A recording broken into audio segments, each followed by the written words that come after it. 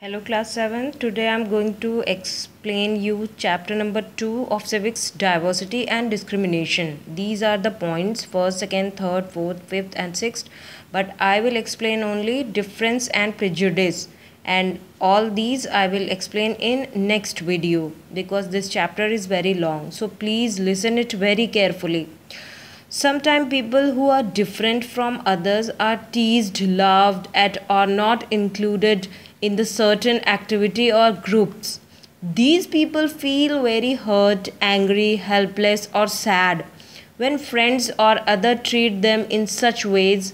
Have you ever wondered why this happened? In this chapter of civics, you people will explore how such experiences has related to the society and they live in. They can also look at how they are connected to the inequalities that exist around them. The best way to revise the chapter thoroughly and understanding the entire concept and covered it to the name of this chapter diversity and the discrimination.